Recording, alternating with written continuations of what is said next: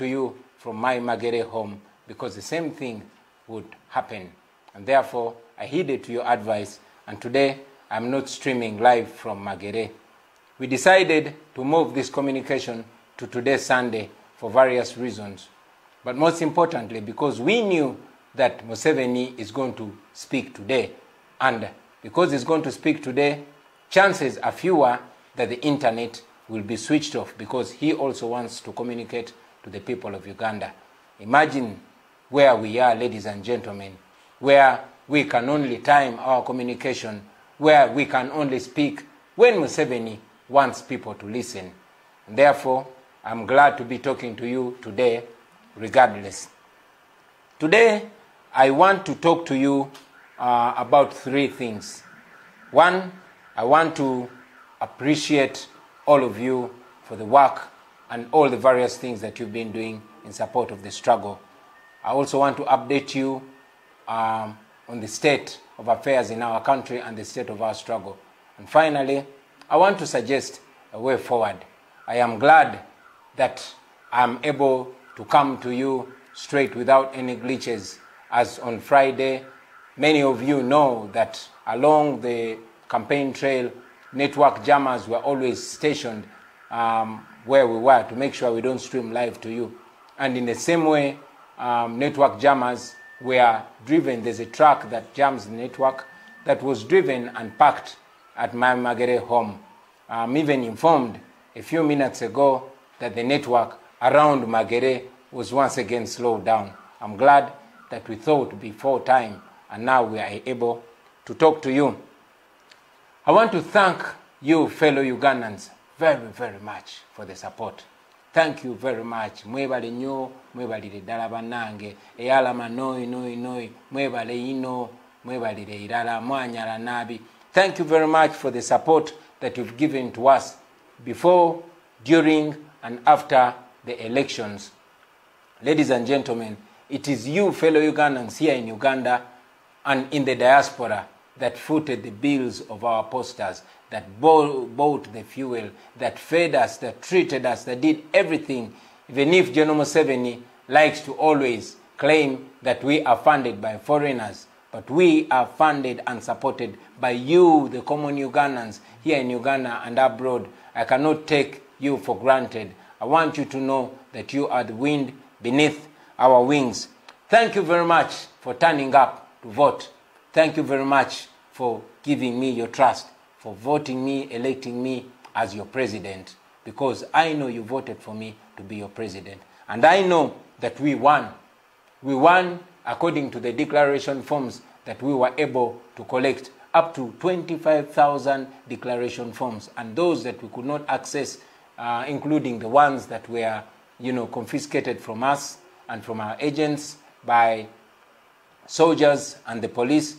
Where we didn't get declaration forms, we relied on those that came from the Electoral Commission, even when we don't trust them. So, according to our tally, our finding is that we won with 54.19%. In the face of all the rigging, we are aware, as you watched the military, police officers critiquing all available ballot papers in favor of General Museveni. I already updated you, ladies and gentlemen, that military trucks were moving from one polling station to another, especially in the districts of Western Uganda and Northern Uganda, taking all available ballot papers in favor of General Museveni.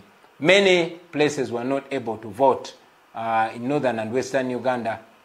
At many polling stations, the voters reached but were told that the election was not taking place. Some were told that they could only vote for their members of parliament and go back home. They could not vote for the president. So, in the face of all those irregularities, I am proud that you Ugandans asserted your voices very solidly. And therefore, I am confident to inform you, ladies and gentlemen, that we won. We won this election. Of course, as you know, um, General Museveni using the military, police, and all other institutions of state rigged this election, albeit brainlessly, but they rigged it. Um, we are all aware that the Electoral Commission announced the results before even actually counting. That explains why they every now and then put up contradicting um, declaration forms trying to justify their rigging. So I thank you, ladies and gentlemen, for turning up and voting, and most importantly, voting for change. I want to thank you for supporting us during the election, but most importantly, supporting us after that election. You are all aware that General Museveni started arresting our people, torturing them so bad.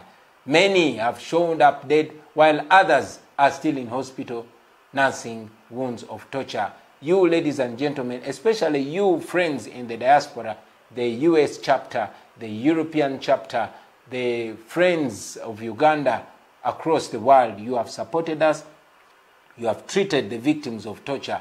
You have treated those that are, you know, are with grave, grave injuries. And indeed, those that have died, you've supported us. For example, just the day before yesterday, we were uh, laying our comrade Fabian in Arua. You supported the funeral, you supported the transportation of the body. We salute you, ladies and gentlemen. We continue to be motivated by your kindness, and we can only say we won't give up simply because we know that you are there.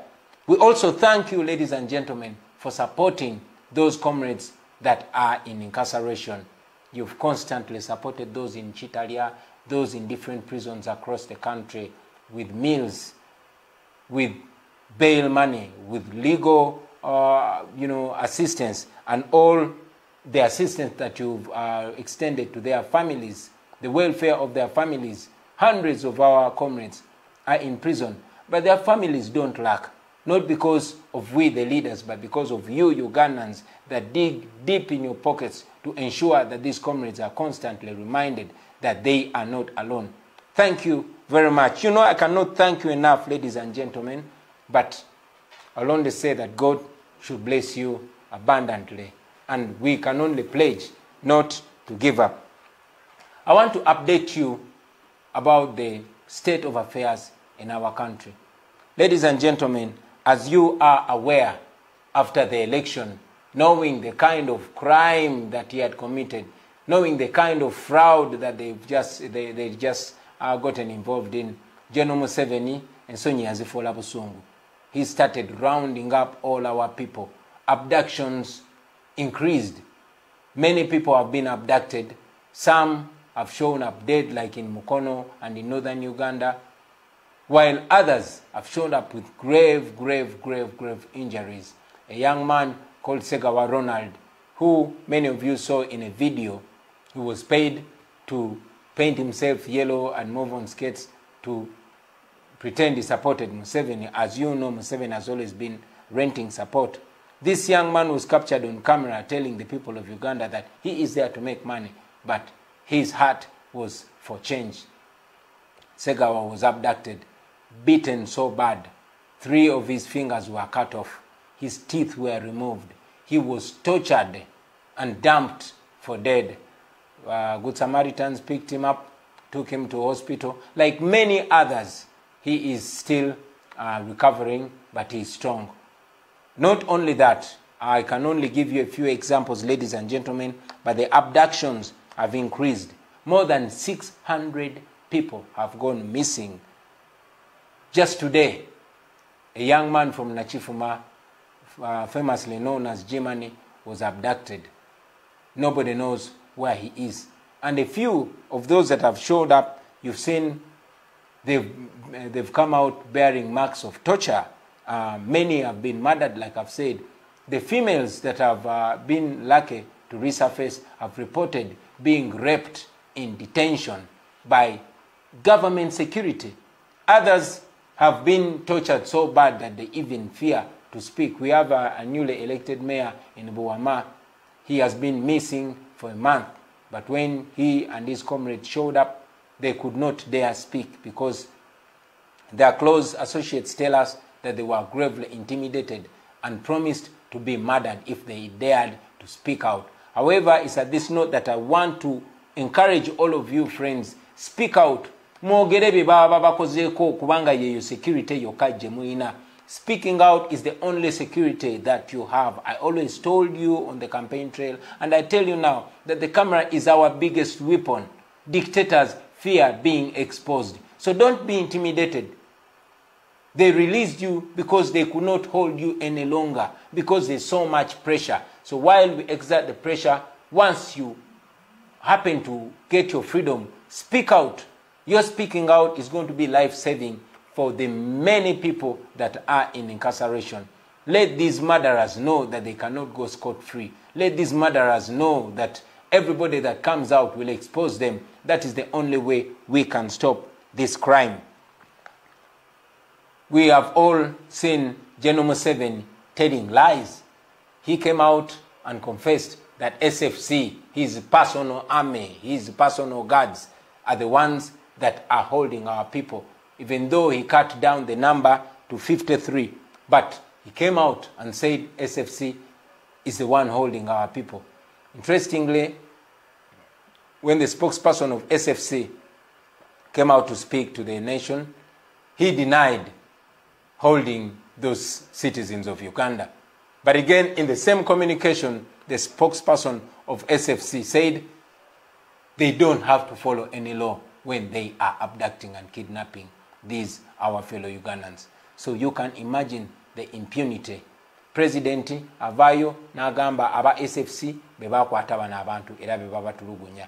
Aba SFC ne bavaayo ne and then ne bamala ne bagamba tebalina kugoberera amateeka gonna nga bakwata abantu. So you can imagine the impunity that we are dealing with in Uganda today. Many attacks have continuously gone on. Just yesterday, our comrade uh, Mobiru James was brutally arrested, and up to now, nobody knows where he is. That's where we are.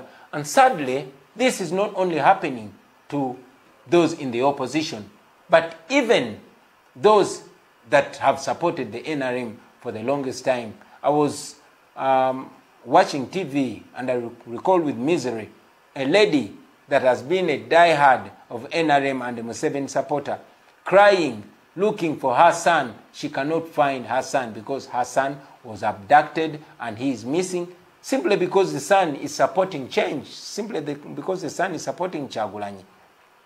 I have told you time and again, friends, that nobody is free. Where there's no rule of law, where there's impunity, nobody is safe, not even you that support General Museveni. For example, Mr. Tamale Mirundi is a renowned regime supporter, is a renowned Museveni supporter. Every time he shows up on TV or online, he is wearing yellow. He clearly supports Museveni regardless of the impunity that's ongoing. On Friday, the day I was supposed to communicate to you, I learned that his son, Tamale Mirundi Jr., was attacked and beaten very badly, losing teeth and having to go through an operation. I spoke to his mother and I spoke to his father just to communicate to them and express my concern um, with them.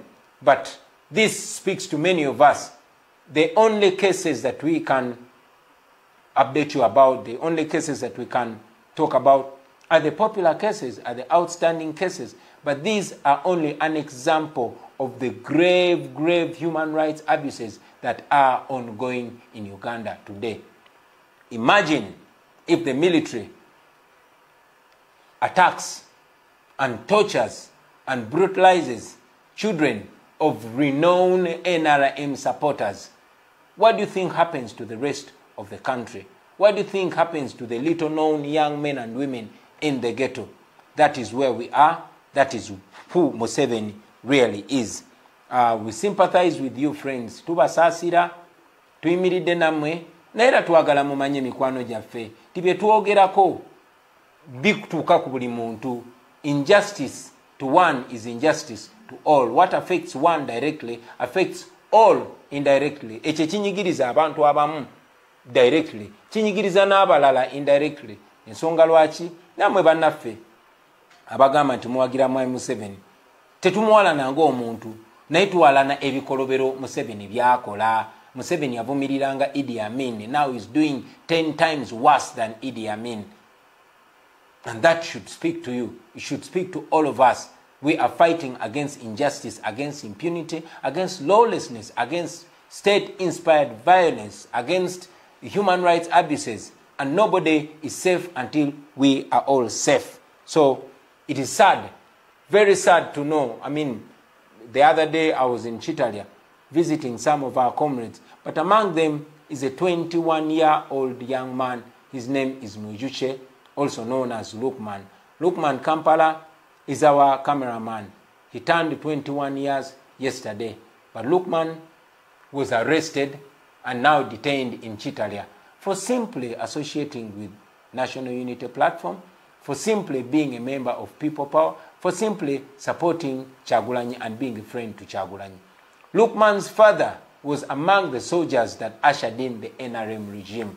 Lukman fought to, you know, to bring in, Lukman's father, sorry, fought to bring in uh, Museveni into power.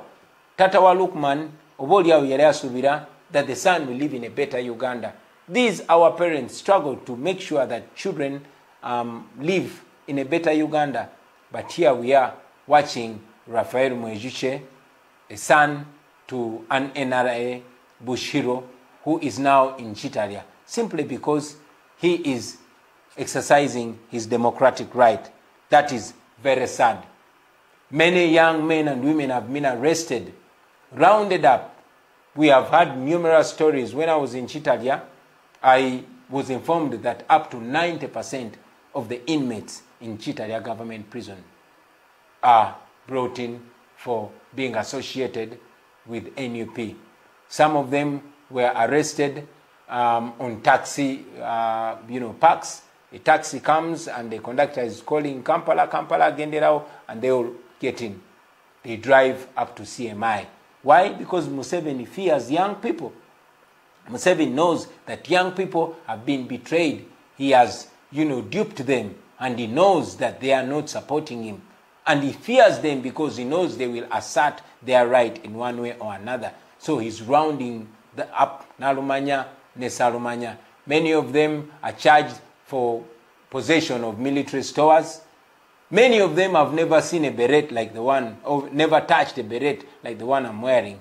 But when they reach there, they are put um, in a room, made to wear a beret, a picture is taken, and they are detained in Kitalya. That is how sad it is, ladies and gentlemen. Many of our children, our little young brothers and sisters, who are supposed to be returning to school, are actually missing their senior four and senior six exams. Why? Because they are in prison. Why are they in prison? Simply because they want change, or simply because they are young people. And the old man that is ruling us on gunpoint is scared of young people. Many challenges, friends. We are aware that the economy is in shambles. We are aware of the rampant unemployment. So many businesses have crumbled. Many people have lost their jobs. Why? Because General Museveni wants to keep us in that position. Businesses have suffered, ladies and gentlemen. And yet, many parents, like me here, have to take back their children to school. But the same people that want to take back their children to school actually don't even have what to feed the children because of the conditions that have been created by Genome 7. COVID 19 itself is being used as a political tool, and as if that's not enough, Genome 7 has imposed a political curfew. So many of our people survive on boda boda business, but by 7, boda bodas are not allowed to work. As a person that grew up in the ghetto, as a person that always worked at night, there's something called the night economy. The people that rule over us don't know that actually there are millions of people that survive on the night economy. Those who cook tea and food, those who work in entertainment places, those who work in taxi parks at night, those who work through the night, they cannot work anymore. These are people that are expected to survive. These are people that are supposed to pay school fees for children. But unfortunately, their lives were put to a halt. There's no justification. There's no, Museveni cannot explain the relationship between curfew and COVID 19.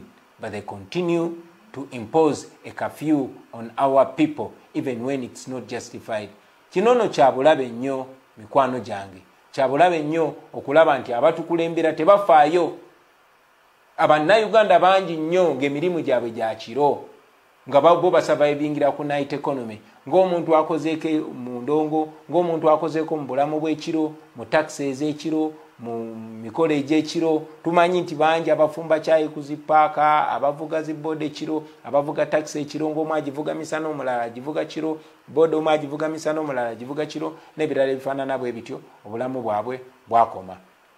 Lwaki? Kuba museveni yateekawo kafyu tasobola kunyonyola nti kafyu egasa bweti mu kulwanyisa obulwadde during the day the towns are packed. But at night simply because he wants to subjugate the people and keep them under stiff control he has imposed that curfew.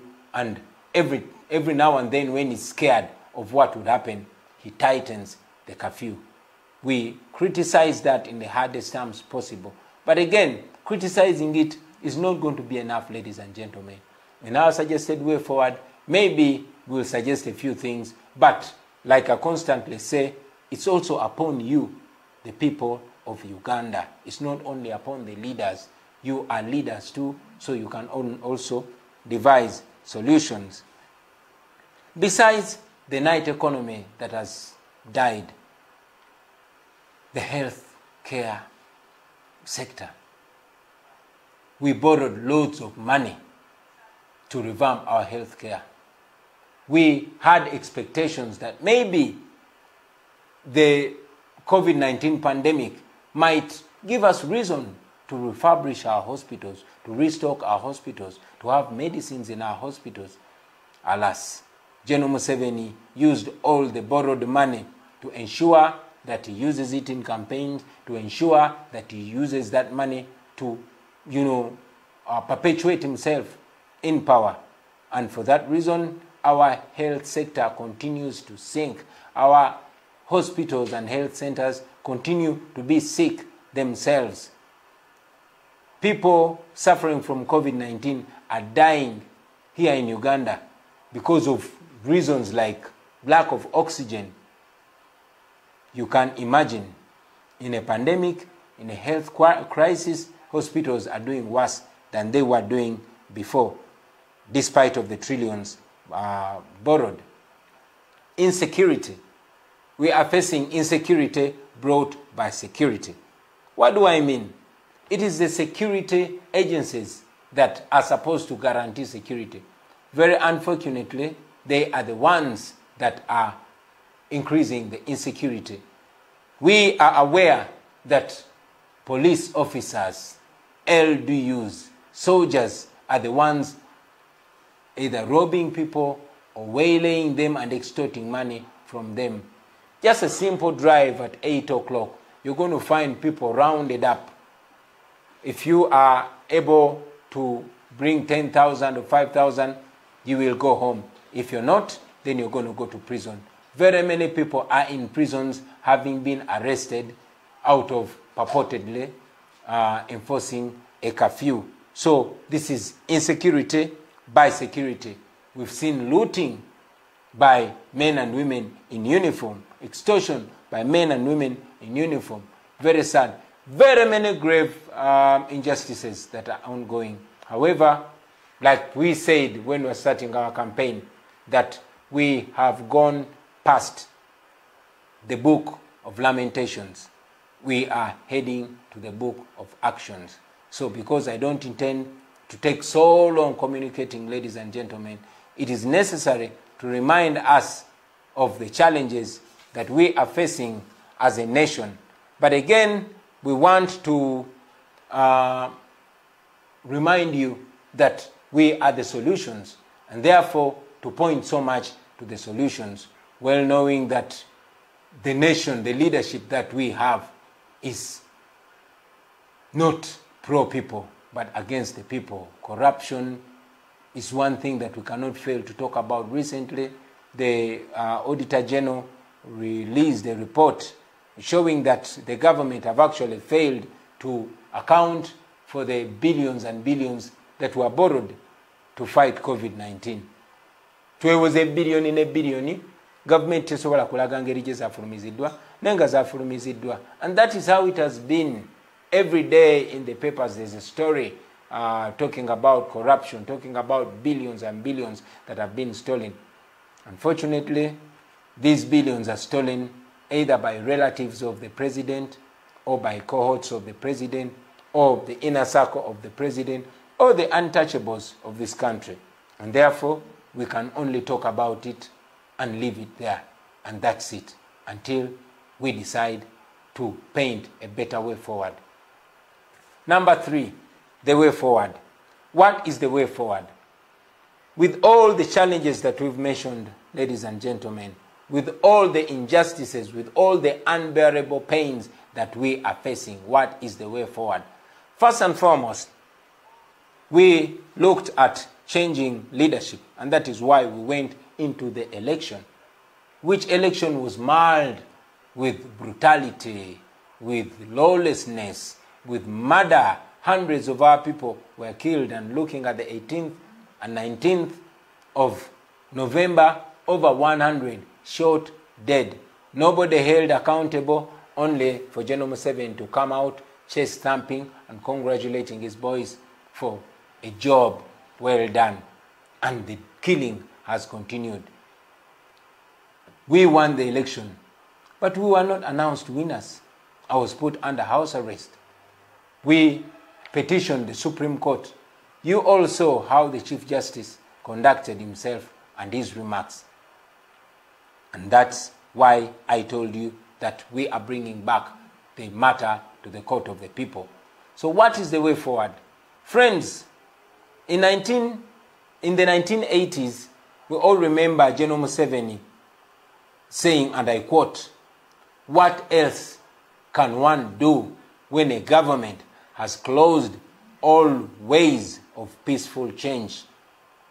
What can we do other than resigning to slavery? He said that before he and his friends took up arms, which led to the death of more than half a million people. That was in 1980. There's a book that I've been reading. This book is called Mission to Freedom. Uganda Resistance News. It was written between 1981 and 1985. This book was written by Museveni and his friends. Um, I want to quote from this very book. I will read for you a little bit from page 3. It says, and I read The right of rebellion against tyranny has been recognized from the most ancient of times to the present day by men of all creeds, ideas, and doctrines. It is part and parcel of the notion of political liberty. It transcends any narrow laws enacted by petty dictators and despots. The right to rebellion transcends any laws enacted by petty dictators and despots, just like Museveni. He goes on to say, the right to rebel against tyranny was at the very root of the American War of Independence against the British imperialism. It was at the root of the French Revolution against divine right and monarchical despotism. despotism. It was at the root of many successful anti colonial wars in countries here in Africa and elsewhere. For example, Algeria, Kenya, Zimbabwe, Mozambique, Guinea Bissau, Angola, and others. Even the, the normally imperturbable Britons found occasion to invoke this right on a number of occasions. Once at Runnymede, to force King John to sign the Magna Carta, and on other occasions to depose crowned kings like James II and Charles. This golden right was aptly defined by the American Declaration of Independence signed on July 4, 1776, in Philadelphia. Museveni goes on to say, we, to, he goes on to quote uh, the Declaration of uh, the American Declaration of Independence, and that was in 1776. It says, We hold these truths to be self evident that all men are created equal, that they are endowed by their Creator with certain inalienable, inalienable, rights, that among these are the right to life, to liberty, and the pursuit of happiness. That to, that to secure these rights, governments are instituted among men, deriving their just powers from the consent of the governed. That whenever any form of government becomes destructive to these ends, it is the right of the people to alter, abolish it, and to institute a new government. Laying its foundation on such principles and organizing its powers in such form as to them shall seem most likely to effect their safety and happiness. Museveni goes on to say, Indeed, rebellion against tyranny is not only a right, it is a duty for all oppressed people to carry out. The glorious men of the French Revolution stated this truth most aptly in their Declaration of Rights of Man. When, when, when a government violates the rights of the people, insurrection is for them and is for them the most sacred of rights and most imperative of duty. that is museveni. He says i'll read this again. The glorious men the glorious men of the french revolution stated this truth most aptly in their declaration of the rights of man that when government violates the rights of the people insurrection is for them the most sacred of rights and the most imperative of duties the people of Uganda have invoked this right and arisen to the call of duty and taken up arms against Obote's regime of blood, oppression, and national shame. Then he asked, he went ahead to give us a justification of the war. These words were spoken by Museveni when he was our age. They go on to give us a story of 1980 this is in a book written by Museveni. These are his words. Museveni goes on to say, on December 10th, 1980, Ugandans went to the polls.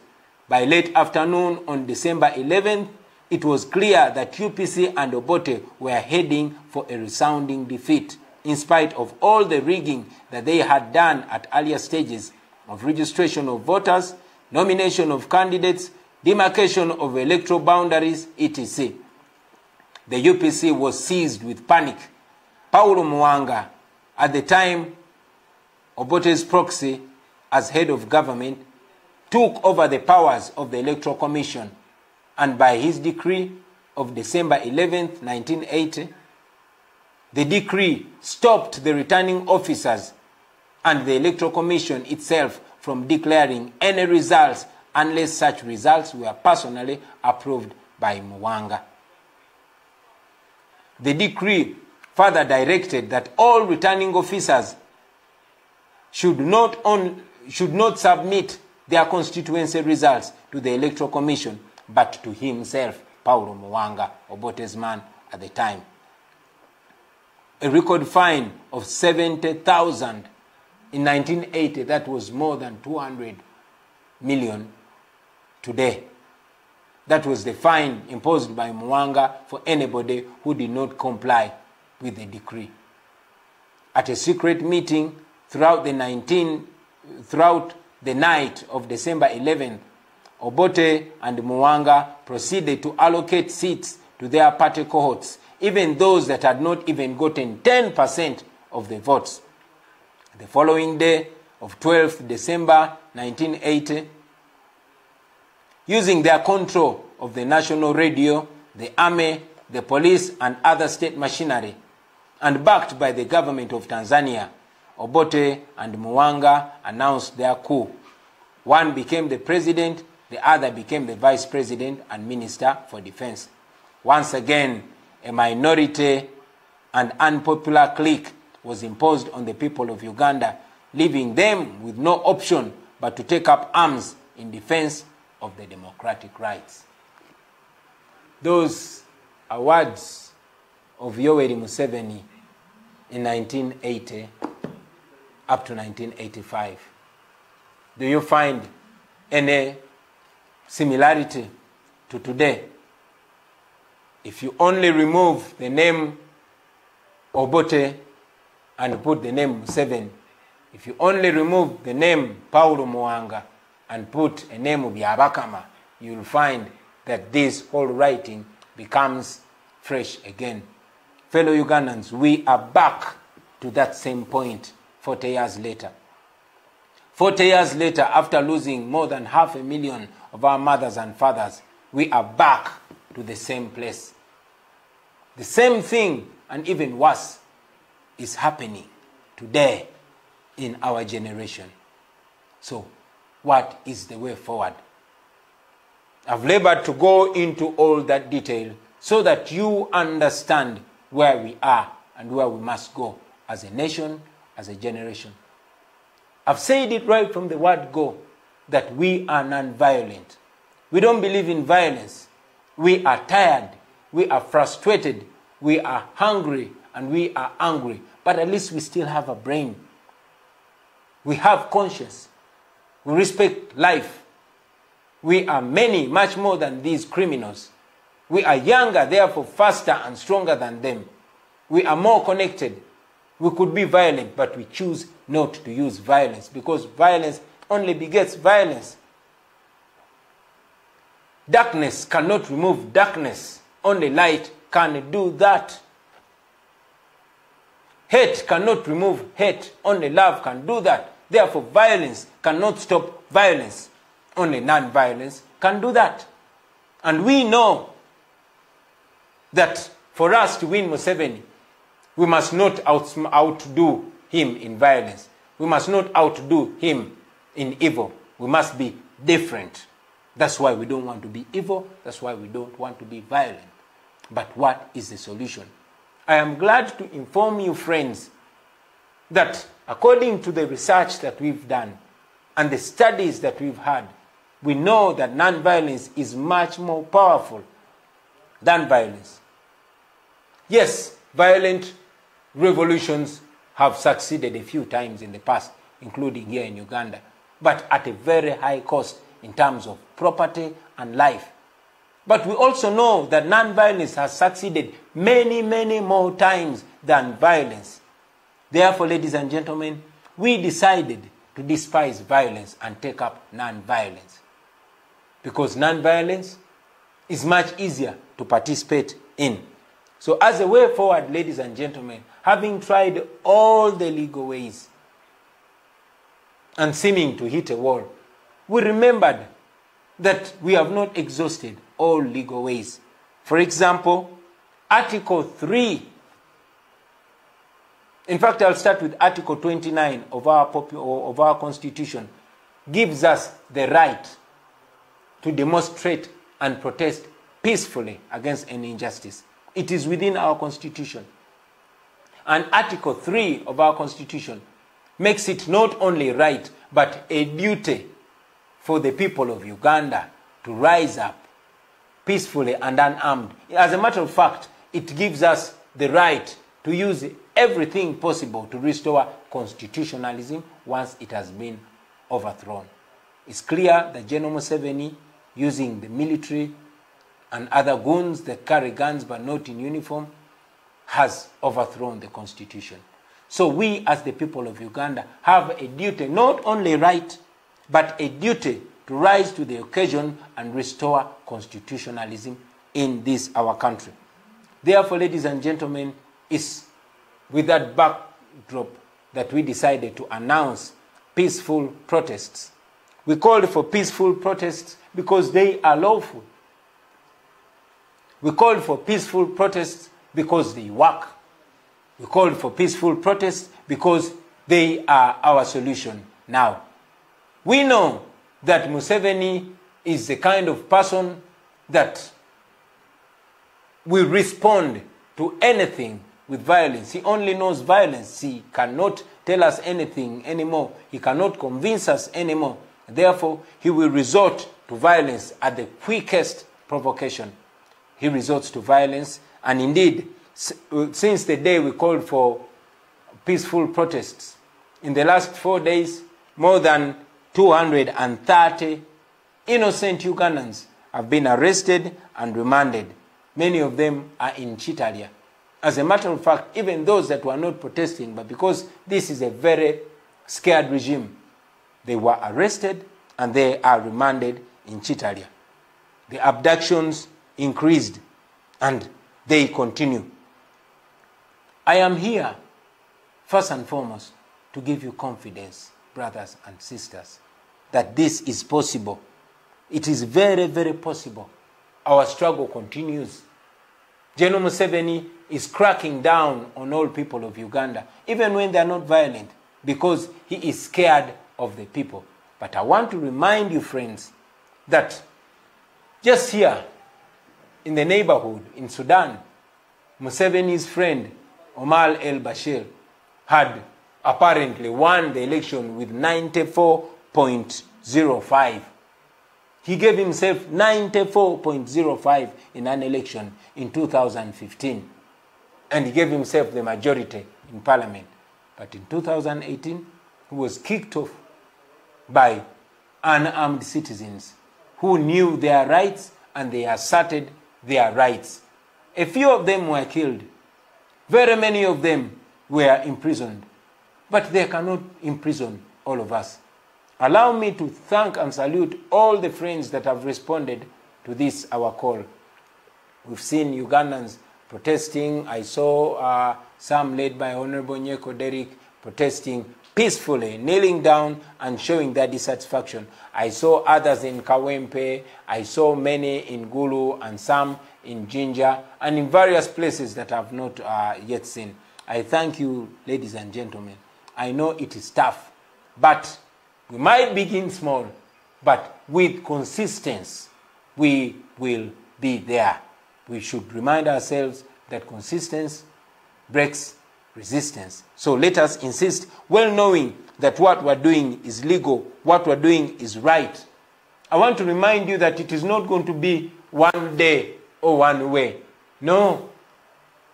bino tebigenda kubeera lya lunaku lumu it might take longer it might take a week a month or even several months but if we insist they cannot arrest all of us amakomera gaffe tegasobola tumalayo tegasobola tujja kugajjulamu bazzaako kyekirala because tetulina musango tetulina tteeka lyetumenye for as long as you know that you have not broken any law we must be proud to suffer for what's right to stand together to protest together to go to jail together and to win together because we will certainly win. We know that. You should know that. So be motivated be encouraged ladies and gentlemen keep going. Like I said, it might not take one day or one form of protest. So take it upon yourselves. Devise means of protesting. I encourage those that have been intimidated so much because it's true the police and military has been deployed everywhere to just brutalize anybody that dares to speak out. But friends, these people cannot be on our streets forever. No, I know that Museveni, because he cannot pay these security uh, operatives that he deploys on the streets, probably that's why he condones the, um, the, the, the extortion that they're carrying out on the innocent citizens. Why? Because to him, they're paying themselves regardless of the insecurity and the inconvenience that they're causing to the people. But persist, friends. Keep going do not give up. We can do this and we are going to do it. Let us find various ways of protesting and we should go on to protest. Now, it's at this note, friends, that I want to note this very, very important issue, and that is the issue of discipline. Discipline. Discipline, friends. A revolution without discipline is dead. at birth. A revolution without discipline is going to be very quickly vulgarized. We must be disciplined so that people join us. We must be disciplined so that we can distinguish ourselves as the ones who are right while our detractors are wrong. We must exercise discipline so that we even encourage people to join us, so that we let people trust us. We must be disciplined. I want to discourage the business of maligning leaders, of calling out leaders, of some of our colleagues using social media to blackmail their colleagues. That is not what we are here for. We know that there are challenges everywhere. What one person has not done, you can do. The blackmail and constant calling out and constant, you know, um, false, falsehoods that are training on social media, they do not help our revolution. They only help the dictator. And that is what the dictator wants. So I discourage that. I don't support it. And it must stop. Kachino kanchogere ne mu luganda mikwano gyange ekigambo kya discipline ndabye bangi nnyo ku bannaffe ng'ate tebava naddala ku social media nga bamalininga nga basaaba ate bannaabwe be bali mu struggle y'emu. Tekirina kye kitwongerako ogwo okudda ku social media noyogerera ba freedom fighter banno. Munno kyalemeddwa okukola gweosobola okukikola.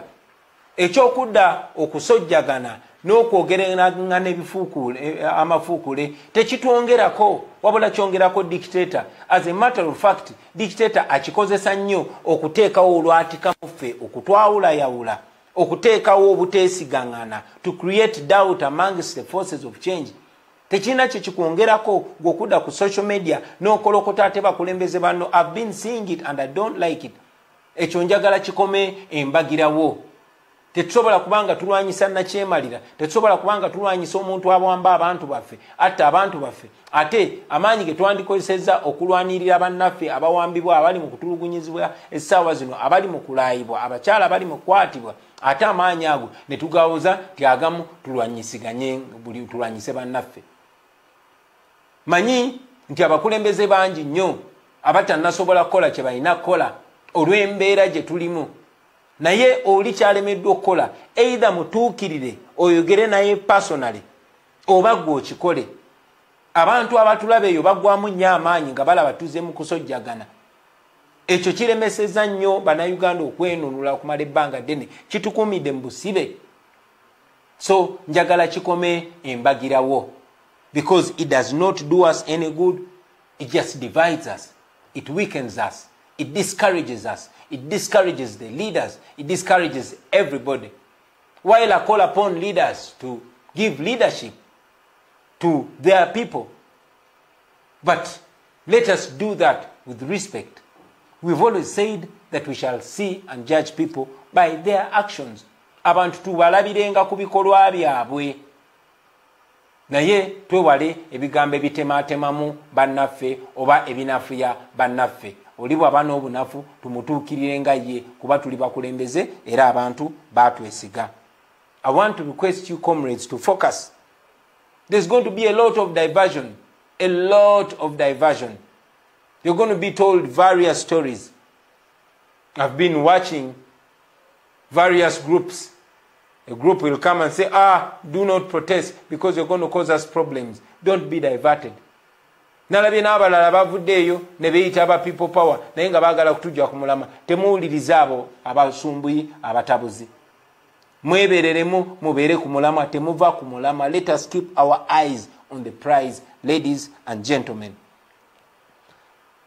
as i conclude i want to call upon the leaders all leaders religious leaders cultural leaders political leaders and all forces of change. Friends, this is not a call of only the National Unity Platform. This is a call of the people of Uganda. You can make that call in your own voice, in your own shade, in your own color, for as long as it is for the people of Uganda. This is a time when we must stand all together, whether you are a political leader, or your religious leader, Let us demand for what is right. Our people are being murdered day and night. It can no longer be about the politicians. It can no longer be about a certain religious sect, about a certain tribe. No, it's about all of us as the people of Uganda. So let us stand together and offer leadership to the people of Uganda. Let us reject what is wrong and embrace what is right, regardless of the language. Let us reject what is oppressive and embrace what is right. Let us reject what is unjust and embrace what is just to all the leaders. It would be the best experience for the people of Uganda if we can all speak in one voice, with one voice.